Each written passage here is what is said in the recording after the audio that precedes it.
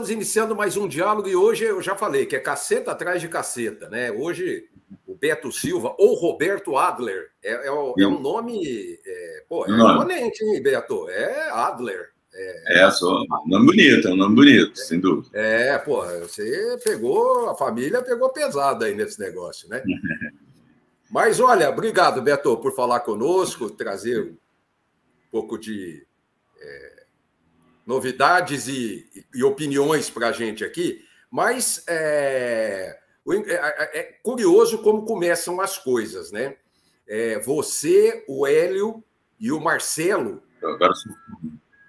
Você, o Hélio e o Marcelo faziam é, faculdade de engenharia é, na Universidade Federal sim. do Rio de Janeiro e nenhum dos três quis saber de engenharia nada, né? Por um pouco tempo, né? Eu, eu, Hélio, acho que os três, os três por pouquíssimo tempo, assim, uns dois, três anos, ainda seguimos para engenharia, mas logo depois a gente abandonou para seguir a carreira de, de, de, primeiro de roteirista de humor e depois de humorista integral, né? É, você, você tem uma participação legal também por ser escritor, né? Você tem a é. natureza, na essência, é. a, a, a eu não sei nem se você é mais escritor do que humorista ou, ou, ou se, se, as coisas se equivalem, pelos é. livros, inclusive, que você lançou. Verdade. Não, na verdade, assim, quando a gente começou, todo mundo escrevia, né? Todos os, todos os sete eram, é, a gente escrevia. A gente começou como roteirista do TV Pirata. A gente era atrás das câmeras, só roteirista. Aí a gente, um momento lá, percebeu que esse negócio de roteirista dá menos dinheiro do que ser ator, né? Aparecer na frente das câmeras é melhor. Aí fomos para frente das câmeras. E aí a gente inventou lá uma aquela história de humorismo mentira, é, é, humorismo, é, jornalismo mentira, humorismo verdade, que era uma forma da gente dizer, ah, a gente é jornalista, a gente não é ator, tal. Mas com o tempo a gente foi aprendendo e viramos bons atores. Quem disse que a gente era bom ator foi a Fernanda Montenegro, não sou eu que estou dizendo, não. Então, ah, tô... é? uma vez eu encontrei, ela me falou, vocês, vocês são bons atores. Falei, pô, vem daí, tá tudo certo. É, só falta você virar imortal agora, porque ela já é, né? Ah, não, mas ela não merece, né? oh, é mais, dá mais dinheiro ser ator do que roteirista, né? Com certeza. É, no caso da Globo, a gente na frente das câmeras, você aparece mais, é muito mais. E aí a gente acabou também é, escrevendo para gente, que é uma coisa muito legal, né? É, a gente escrevia e a gente atuava. Isso é, é para o humorista é muito bom, é, é perfeito, né? É. Que quando você escreve, você, você tem um jeito, você escreve de um jeito e, e você mesmo que está interpretando, você sabe exatamente o que você, o que está escrito ali, o que você queria dizer. Entendeu? É. Ô, Beto, eu queria falar dos seus livros. É, o Júlio Sumiu, o Júlio Sumiu é, é de 2005 né? Sim. E aí, eu queria saber quem era a dona Edna no Júlio Sumiu. É. Porque é uma figuraça, né? Dona Edna, dona figura, Edna. Dona Edna é uma figura ficcional, né? No, assim, é. É. Mas aquele, aquela loucura da Dona Edna com o filho tal, tem até um pouco a ver comigo mesmo, com, sabe, e com pessoas que eu conheço, aquela coisa de estar muito ligado, né?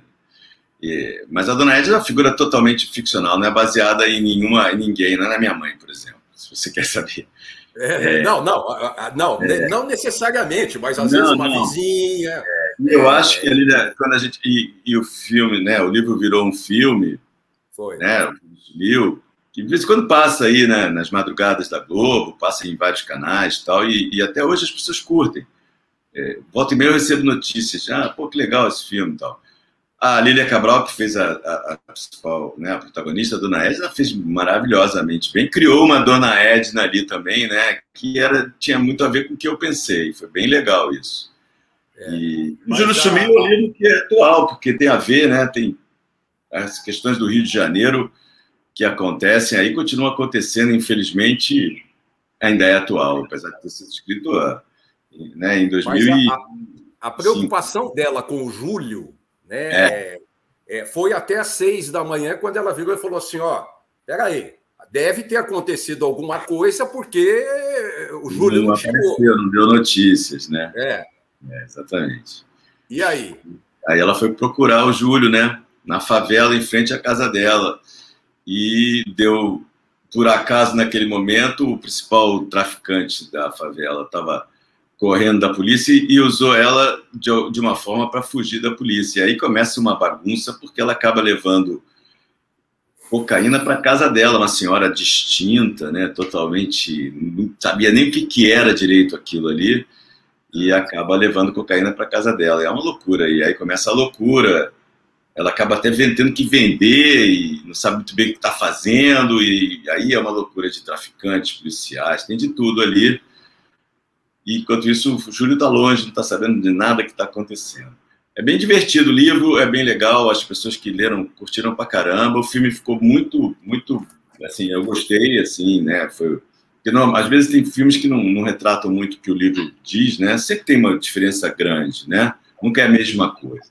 Mas acho que no final o, o, o filme acabou trazendo muito, ficando muito próximo do livro e, e, e fiquei bem satisfeito. Acho que ficou bem bacana, as coisas ficaram bacanas.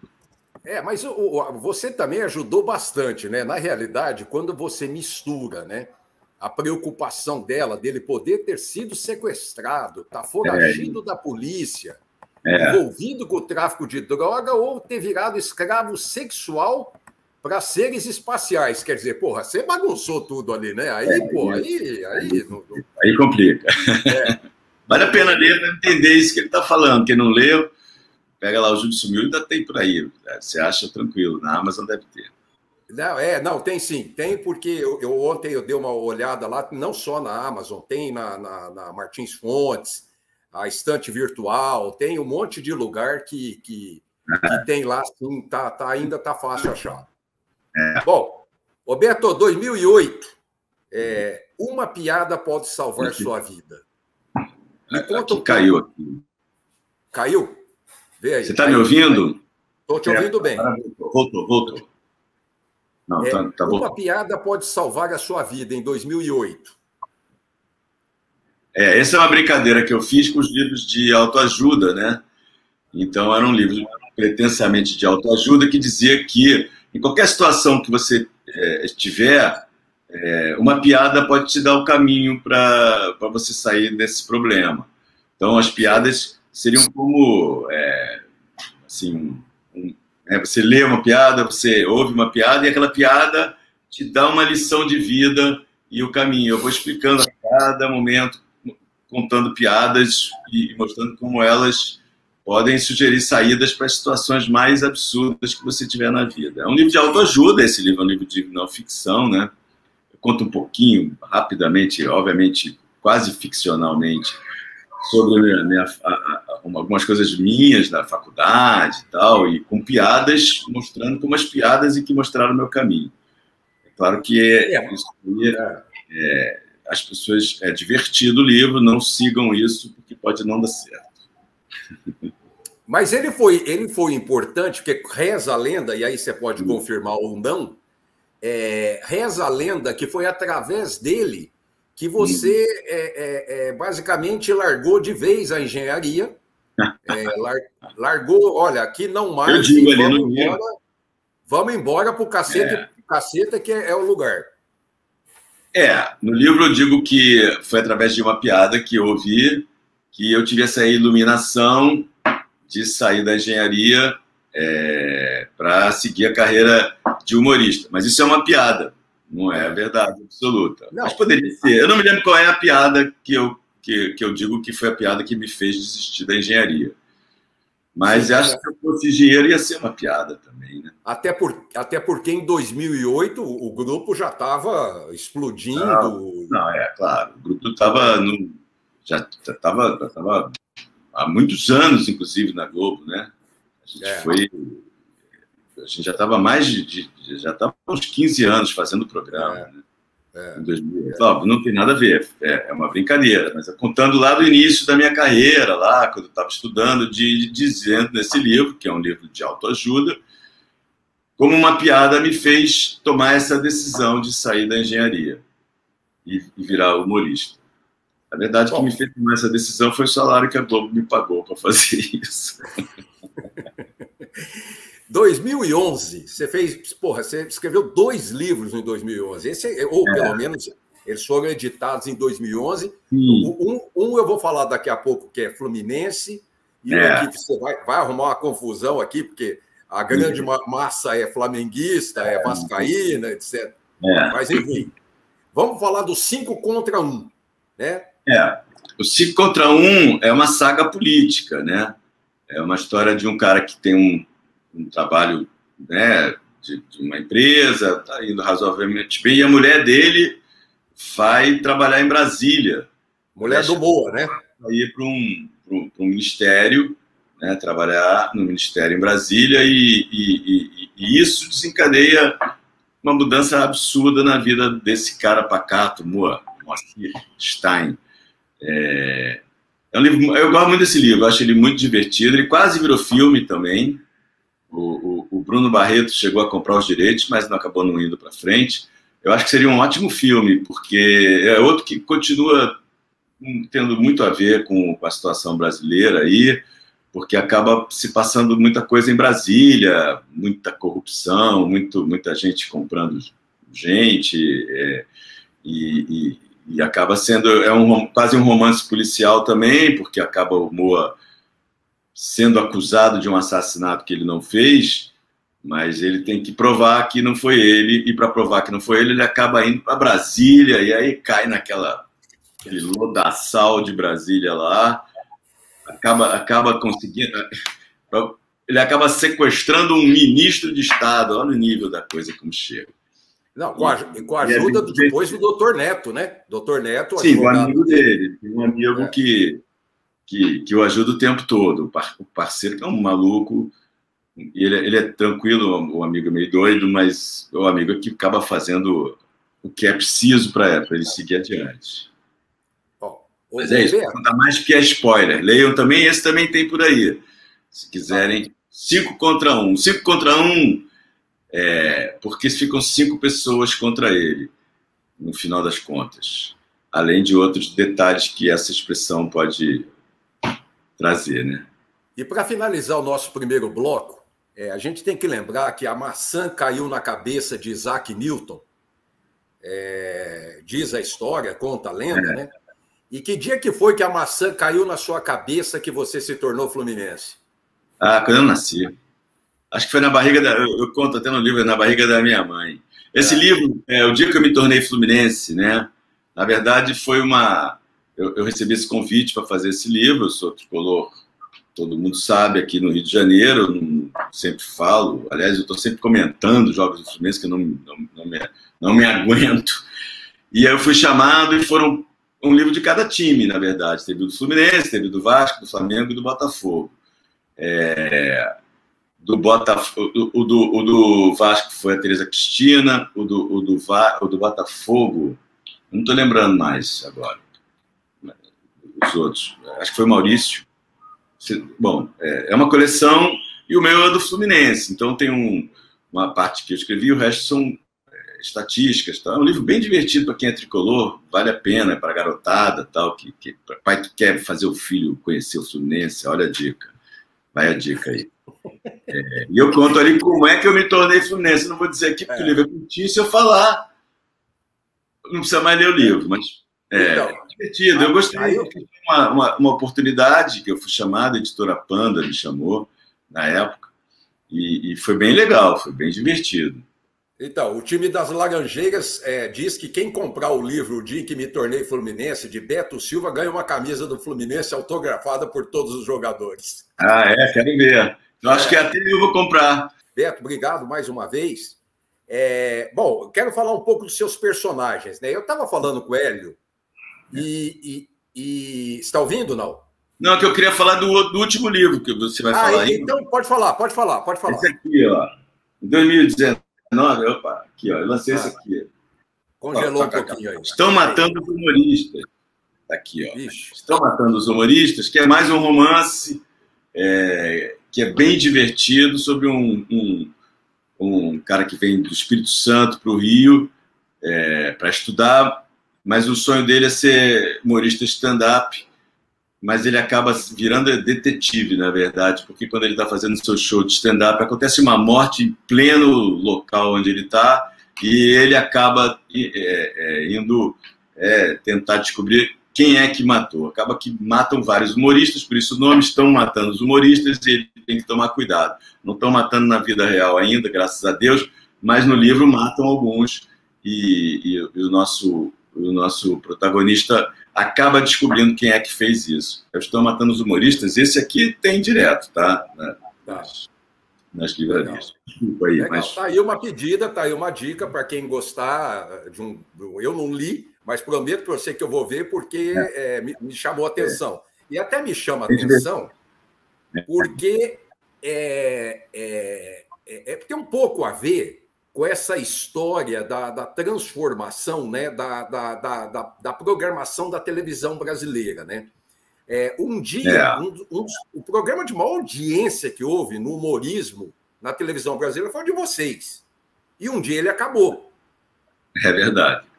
Né? Quer dizer, e um dia ele acabou. É, muitas pessoas é. enganadas atribuem a, a, morte do Bussunda, o que não é verdade. É, enfim, o que, que a gente está vendo Ele durou hoje na anos ainda depois, né? Ah. Muito pouco, né? É verdade. É, é, o humor, eu acho que o humor na TV aberta está em uma crise. Assim, depois que a gente né, saiu do, do ar, a gente saiu do ar. Em 2010 acabou o Cacete Planeta Urgente, em 2012 veio o Cacete Planeta Vai Fundo. Depois disso, teve o Zorra, né? Zorra Total que virou Zorra, né? E o Zorra acabou também, no escândalo lá. E eu acho que o Zorra também não, não foi um programa que funcionou tanto assim. Isso estou falando na Globo. Fora da Globo, continua a Praça é Nossa, né? Que é um programa tradicional, que vem lá. Acho que é o programa mais longevo da televisão, se bobear. Mas, na verdade, não tem muita coisa na TV aberta, né? Na TV aberta está é. tá carente mesmo de programas de humor. Não sei não sei o que aconteceu. Mesmo programas do tipo Sai de Baixo, esse tipo de programa, né, que era muito divertido, tal, que eram programas de, de teleteatro quase, né, que é gravado no teatro, tal, também não tem mais, não tem mais sitcom. Depois da Grande Família também nada aconteceu, não aconteceu, mas muito pouco. É, é uma crise, eu acho que tem uma crise. Eu acho que falta humor na televisão aberta, eu estou dizendo. Na fechada também, na verdade. Tem um Multishow que tem alguns programas e e, e, e, é difícil, você não tem como tinha antigamente vários programas de humor, né? Mas você, você, tanto é, você tem tanta razão que você pega, por exemplo, no Viva, você tem a escolinha do professor Raimundo reprisando até é. hoje. Né? Quer até dizer, hoje. E, e, eu assisto. E eu assisto, pra você ter uma noção. É divertido, é divertido as duas, né? Assim, eles já tentaram fazer um revival, não revival, acho que foi, né? Um novos, né, novos atores fazendo, mas foi uma homenagem mais do que um projeto, né? Mas você vê até hoje lá o, o, a escolinha viva, incrível que pareça, e, e, se diverte. Eu acho que faz falta para as pessoas ter. A Globo só faz, a Globo agora faz reality show, né? Então, é, de repente faz um reality show de humor, sei lá, pode é, fazer, né? Dá resultado. Dá resultado. É, mas o humor dava resultado também. O humor sempre deu resultado. É. Eu não sei o que, que é que faz com que eles tenham desistido dessa. Não, não só a Globo, né? A própria Bandeirantes também, depois do Pânico, não sei se tem alguma coisa. Ah, o SBT só a Praça é Nossa, né? E, e demais eu não sei. E de resto, só muito pouca coisa, assim, de programas de humor mesmo, com quadros de humor. Talvez a internet tenha abalado um pouco esse tipo de coisa. Tem muita coisa na internet, mas é esparso também.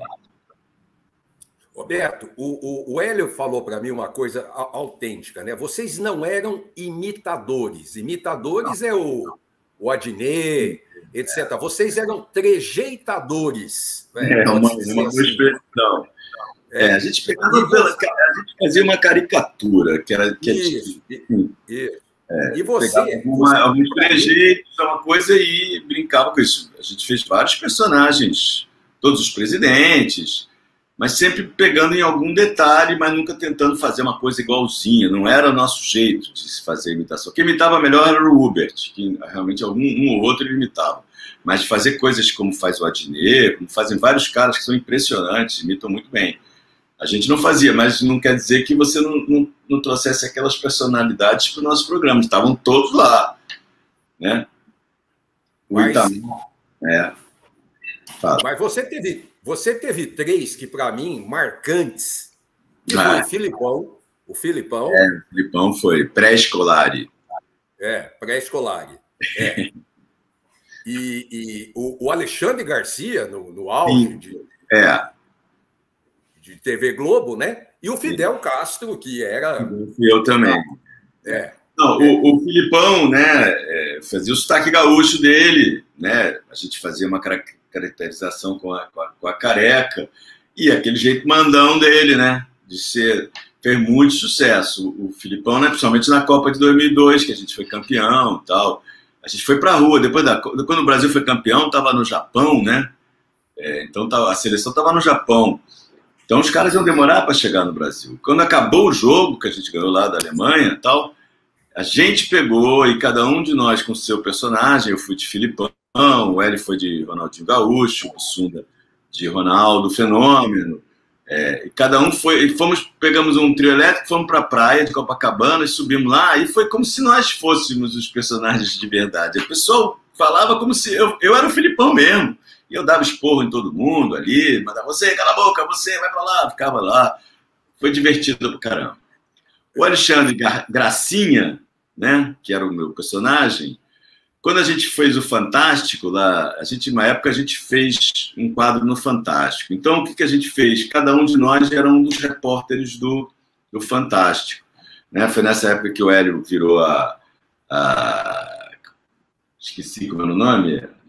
Bom, cada um tinha um personagem. Né? Eu não fazia um ou dois, às vezes mais de um, mais de um personagens daqueles repórteres que apareciam, eram todos conhecidos. Tal. E eu fui o Alexandre Gracinha, até porque na época eu tinha barba como tenho agora, e aproveitava isso tal. É, então era o Alexandre Gracinha. É, eu também fiz a, a Leilani Beckenbauer nessa época, também tinha, também. Eu era ruivo também. E o terceiro que você falou foi a Fidel Castro. Fidel Castro, figura sempre com charutão, era bom. Eu gostava de, eu gostava de que me dava um charuto, eu ficava fumando charuto, achava bom. Gostava. É. Eu fui muito Deus também, que é uma personalidade. É. é. Fui no vários.